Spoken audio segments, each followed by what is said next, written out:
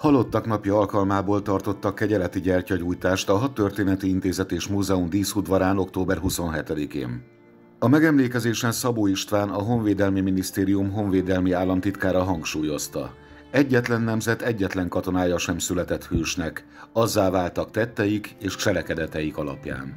A sors úgy hozta, hogy a történelem viharaiban harcolniuk kellett.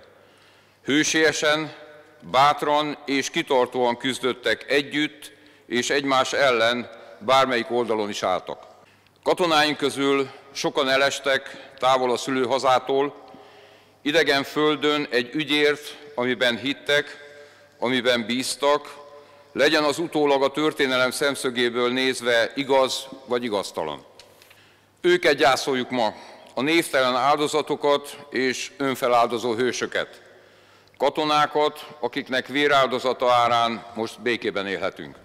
Szabó István emlékeztetett, sokan az egyenruha mögött csak a katonát, az erős hazájáért harcoló férfit látják.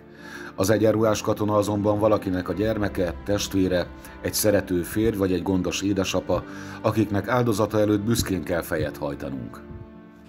A halálban magányos az ember, és magányos egy nemzet is. De az emlékezésben együtt vagyunk, együtt is kell lennünk. Adassék hát dicsőség, tisztelet és hála mindazoknak, akik életükkel áldoztak a kötelességteljesítés és a hazaszeretet oltárán. Higgyük és reméljük, hogy az áldozatuk nem volt hiába való, mert vérükből egyszer majd új hajtás sarjad.